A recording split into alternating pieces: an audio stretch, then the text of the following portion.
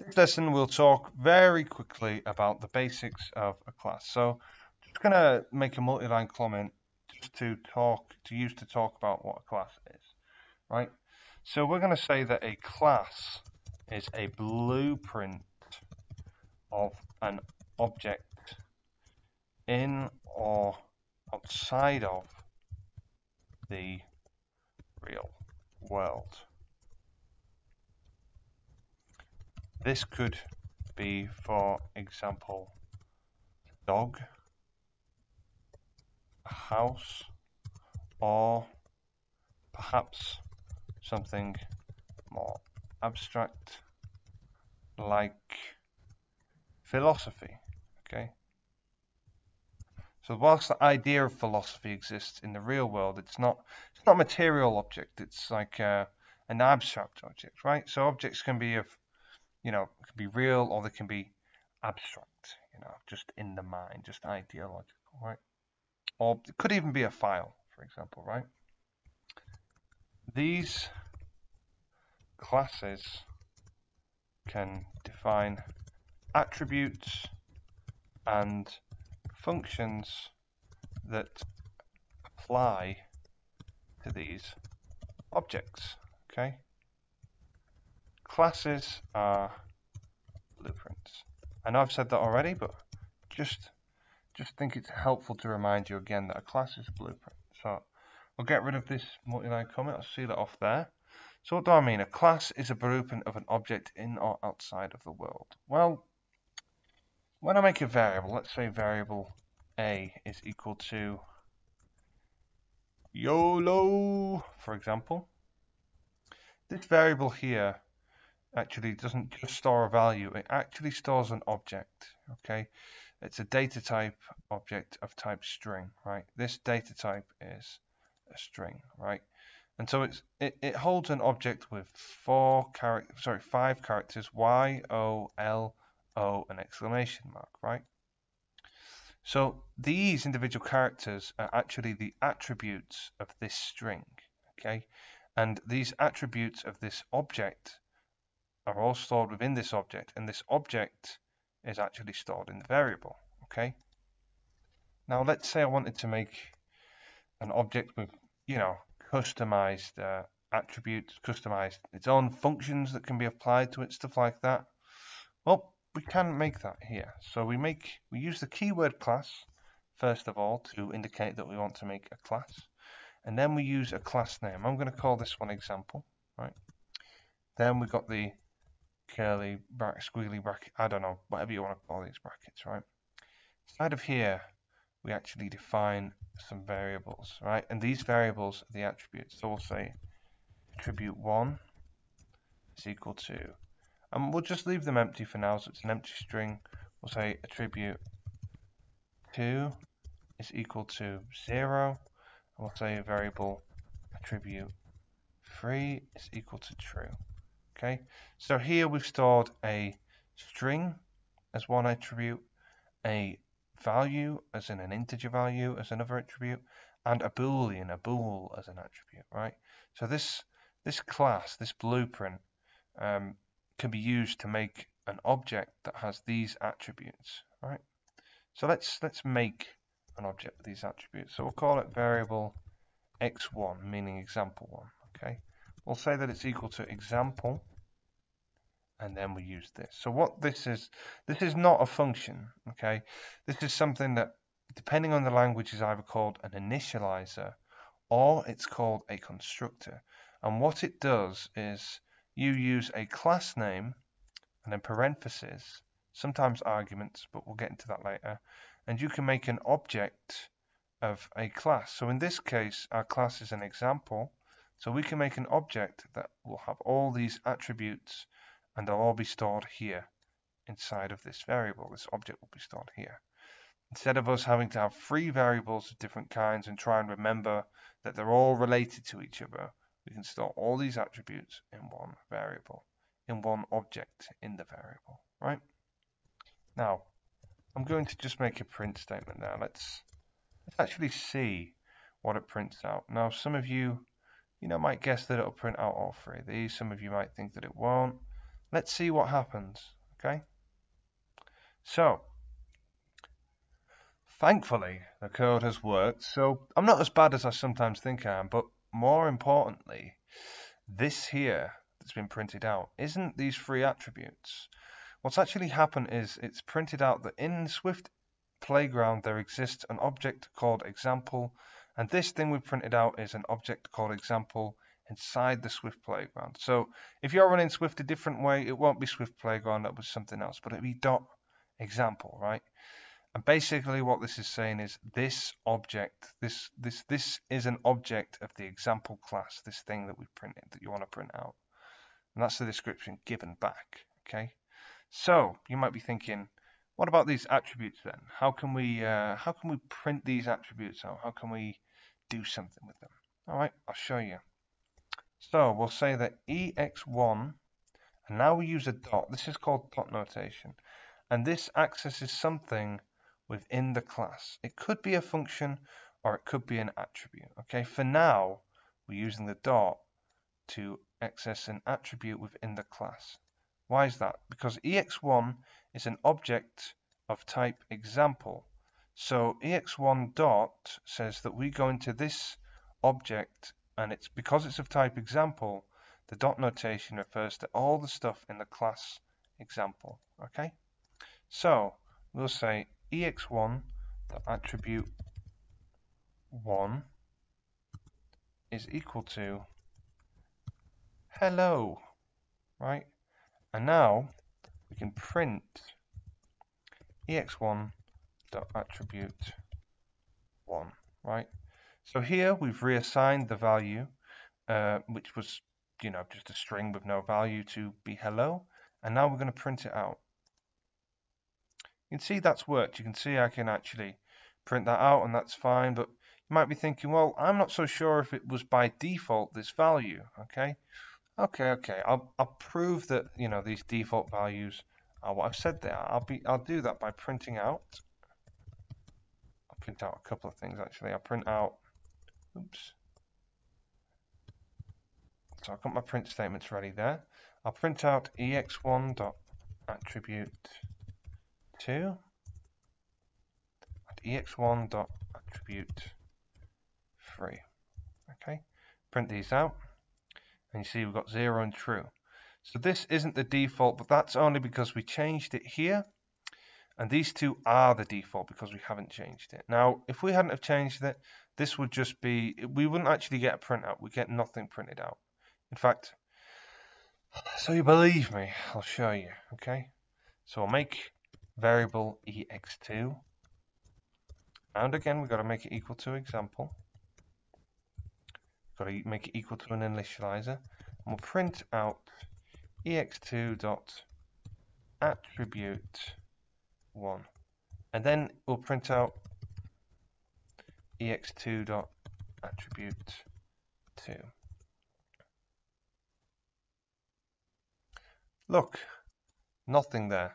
So we've got absolutely nothing, which is a blank string, and then we've got the value 0.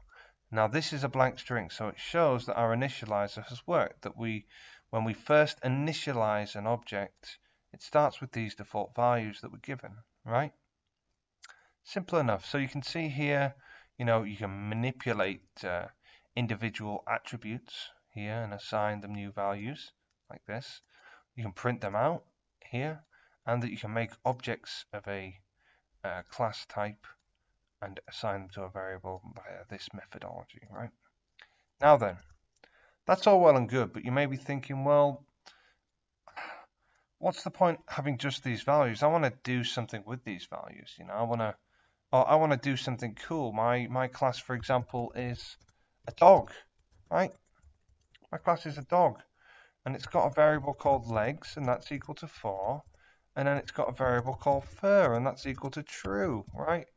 But I want, I want, you know, I want it to be able to bark. So we say function bark.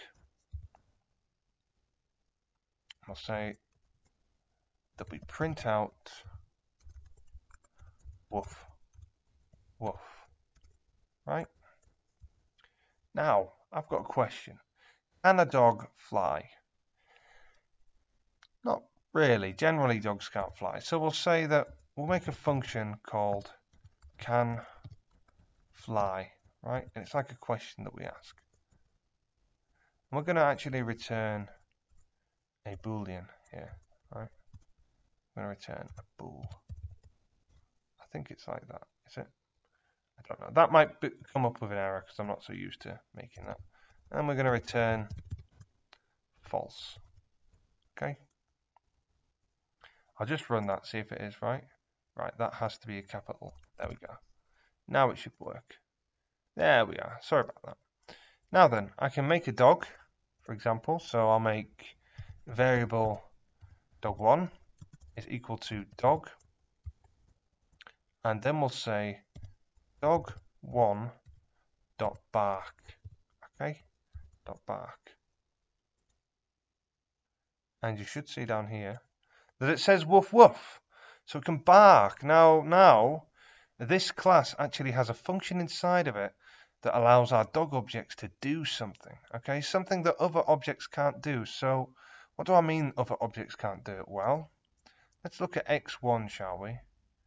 What happens if we say ex1 bark?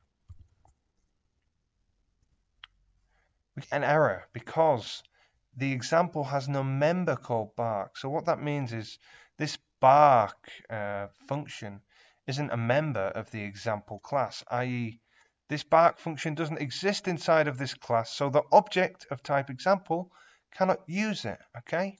So I'm just going to comment that out because obviously an example can't bark, only a dog or a person imitating a dog can bark. Silly me. Now, why don't we print out dog1 dot can fly okay now obviously a dog can't fly so this comes out as false and we actually get a printout of false. Keep going down here. We got print out of false there. Because obviously a dog can't fly yeah? And once again you know we can use dog1 dot legs. We can print that out for example and see what its value is.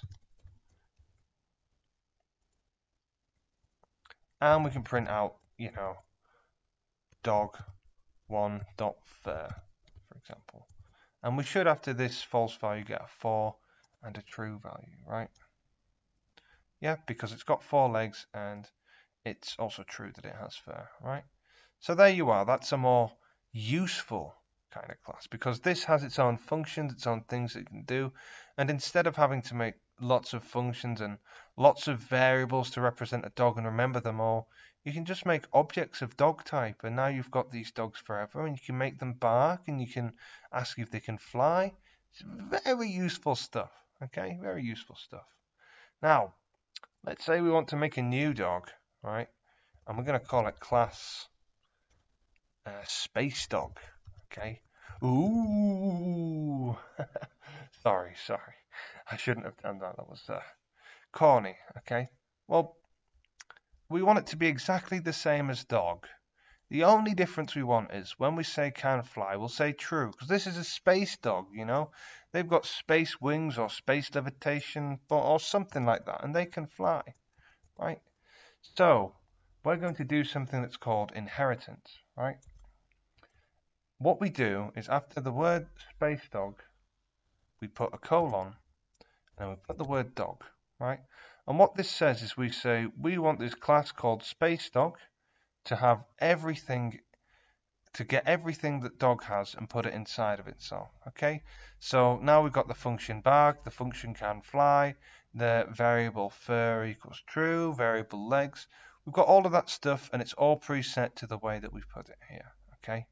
So when I make a object of this, it'll be able to do all of this, right? But here's a problem. This function can fly. I mean, it returns a boolean and all, blah, blah, blah, but it's actually going to be returned as true because this is a space dog, so we need to change that. So we can do what's called an override, right? And what this does is it overrides the previous function and rewrites it in this class. So what will happen is we can change this function that we inherited from dog But all of the rest of this will stay the same, unless we override it all. But I'll only override can fly. So we use the keyword override in order to do this. And then we use the keyword func. So we're overriding a function, not a variable here. And then we put the variable name. And we're going to put to bool once again because we don't want to override the data type. And we're going to return true this time uh, because a space dog can fly. Okay. I'm also going to write another function and we're going to say, we'll call it fly, right? And we'll say, we'll just print something out actually, you know, print out the space dog flies high. Yeah. Let's run that, make sure I haven't got 4 million errors. And I don't. It's run perfectly. So, why don't we make an object of class dog and an object of class space dog. So we'll say variable doggy equals dog, because we just make a dog for now. And we're going to say variable sp doggy equals space Right? Just check that, make sure that works out. Great, nothing's gone wrong. So, let's try to use the new function on the space dog. So we'll say sp doggy dot fly, right? That's the new function, okay? And we get a printout that says the space dog flies high, okay? Now, let's use this on doggy. So let's see what happens when we use this on doggy. Doggy.fly. There's an error. Value of type dog has no member fly. What? Oh yeah, there is no fly function in there. So, Space Dog has inherited everything from inside the class dog, but the class dog doesn't get anything from Space Dog. And because this function fly was made in Space Dog but not in dog, dogs can't use it because dogs can't fly, right? Just something to remember, you know, that's a bit more advanced, but just something to remember, right? So I'll just comment that out. Now, let's print out sp doggy dot can fly. Okay, because last time when we tried the dot fly, we actually and we printed it out, we actually got a false reading. So we want to make sure that in this new uh, overridden function that it returns true and not false. Okay. And if we go down to the very last, very last uh, printout, you can see that it's actually true that this space dog can indeed fly. Okay, so let's go over everything, right? Let's go over it all. So here we've just made a variable and you can see that this is actually an object, a string object, and it contains four, five attributes you know, Y, O, L, O, and exclamation mark are characters. And this object contains five characters, okay? Here is a class. This is how we make a class, and it's called example. It's got three attributes, and you can see that the attributes don't all have to be the same type, okay? But if they are a chosen type, you cannot make them another type when you make uh, when you reassign, okay? Here we've reassigned value to attribute 1 of an example object and we've printed out the attributes as well just to show that you can access them. Here we've made a class of dog, right? And we can make objects of type dog with, from this blueprint of the class. We've given it a couple of variables as per before, but we've also added two functions, one that prints out woof woof and one that prints out that gives returns the uh, boolean value bool value of false, okay? Now, if we try to make, uh, well, if we use the bark method, it'll print out woof woof to the screen, so that's worked, great. If we try and do it on the ex1 uh, object, uh, variable, sorry, if we try and use the bark function on it, it won't work because the class example um, doesn't contain that method, doesn't contain that function, right? So example objects, such as ex1, cannot bark, okay? Dog 1 cannot fly, so this will print out false. Um, dog 1 legs should be 4, and that should be true. Here we go, false, 4, true, right? Now, here I've made a new class called space dog, right? And by putting this colon after the space, after the space dog declaration of the name, and putting dog after this colon, I've said that I want this new class to inherit or to get copy and paste all of the code inside of here and basically put it inside of here without me having to copy and paste it, right? However, the can fly function, you can see here returns true and there returns false, right? And in order for us to make it return true, we had to override the original function with the override keyword before the function declaration. And we have to rewrite this whole function. We also added a new function, which was fly, that prints out that the space dog flies. Okay, And you see in testing that that information is all correct and it's all worked as intended. I hope this was educational. Thank you for watching and see you next.